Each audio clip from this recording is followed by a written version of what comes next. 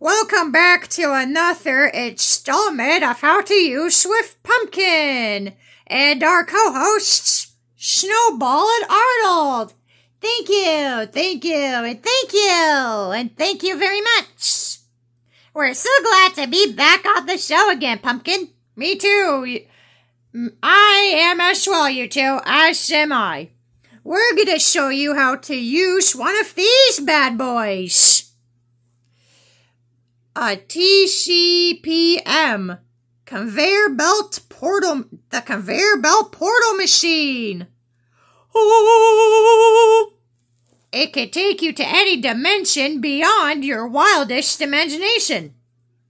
In the entire universe. Thank you, Professor. Thank you.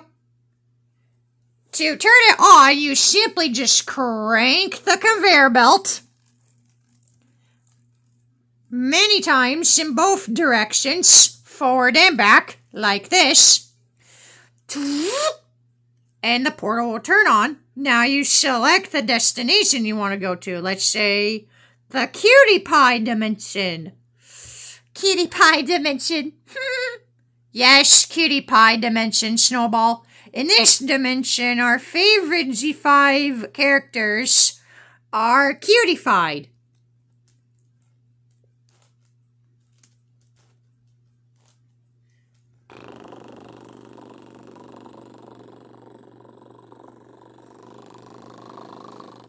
Here I go. Whoa, whoa, whoa. No, no, no, no, no, no, no, no, no, no, no, no. A hundred percent charged, ready to fire in three, two, one.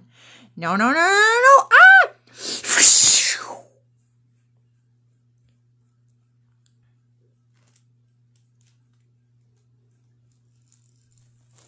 Uh, Pumpkin?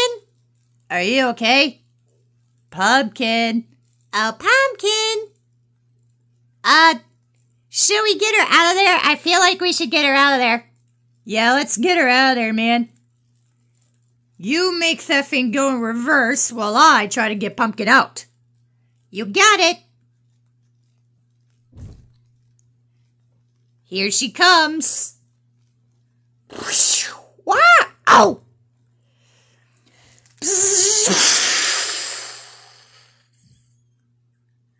And that, my friends, is how you use the conveyor belt portal machine. Thank you for watching, and we'll see you in the next installment of how to use Swift Pumpkin.